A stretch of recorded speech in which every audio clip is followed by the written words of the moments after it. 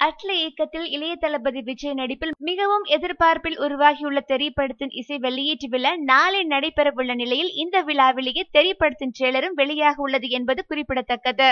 மேலும் இந்த ட்ரெய்லரில் முதலில் வரும் காட்சி குறித்தும் தற்போது செய்திகள் வெளியாகியுள்ளது.